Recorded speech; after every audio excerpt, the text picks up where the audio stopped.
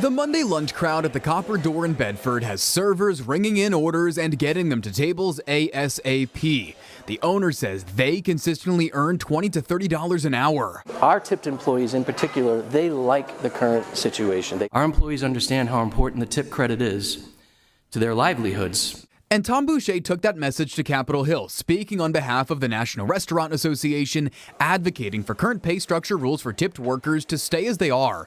Currently, employers can pay servers and others a lower base wage and they get gratuity from customers. If the combination of the two doesn't hit the minimum wage, employers must make up the difference. But some states and cities have mandated tipped workers be paid the same base wage as non tipped employees. Advocates for that say tips are unreliable. They go up and down, shift to shift, week to week, season to season, month to month, but your rent and your bills do not go up and down every week, month, season to season. But Boucher told lawmakers if he and other restaurants had to pay more out of pocket, restaurants operate on very slim margins, and when you start adding this false labor cost into your model, you have to change something. You either have to raise prices or decrease staff, but in some cases both.